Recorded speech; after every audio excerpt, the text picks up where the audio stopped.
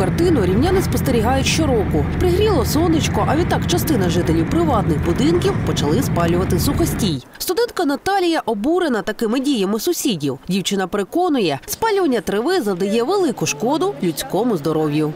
Повітря в нас теж надзвичайно забруднене. Це і від пересувних джерел, тобто автомобілів, і від стаціонарних різних підприємств. І забруднення повітря саме від диму і від спалювання трави також дуже актуально в межах рівного.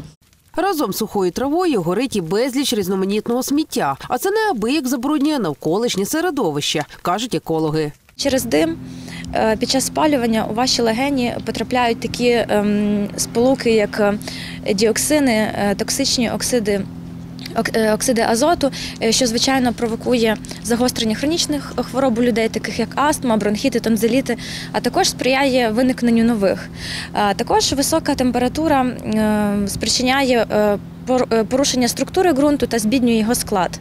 Також при спалюванні сміття існує загроза виникненню масштабних пожеж. До прикладу, вчора, 9 квітня, поблизу Шпанівського провулку, що неподалік вулиць князя Володимира та Романа Шухевича, горіло поле сухої трави. Швидкість поширення вогню надзвичайно висока, тому локалізувати такі загорання на відкритих територіях дуже важко, наголошують вогнеборці.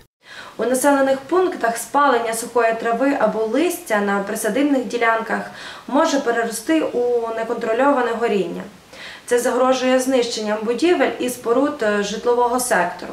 Крім того, погіршення видимості на автодорогах через дим від таких багать може стати причиною дорожньо-транспортних пригод.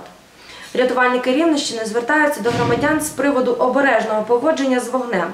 Не користуйтеся вогнем для знищення сухої трави та сміття.